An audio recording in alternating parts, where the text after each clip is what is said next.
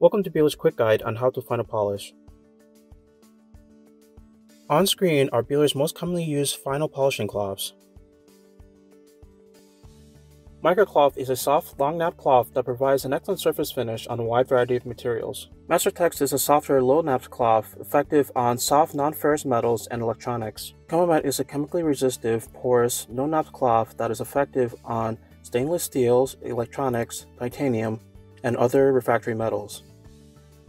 The type of material being polished will determine which final polishing suspension is best.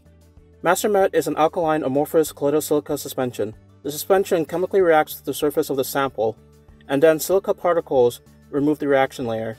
MasterPrep is a sol-gel alumina suspension. The alumina particles mechanically remove material. Before final polish, dispense enough final polishing suspension for the final polishing cycle. Typically 5 to 10 milliliters per minute is recommended. Remember to wet the cloth with water before the final polishing cycle begins. This helps the final polishing suspension spread. During the cycle, slowly add 5 to 10 milliliters of final polishing suspension to the cloth per minute.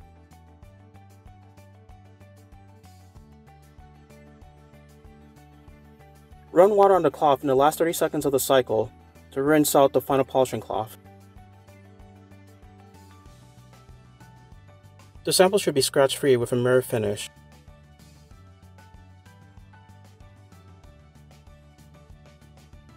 For more information, please visit www.buehler.com.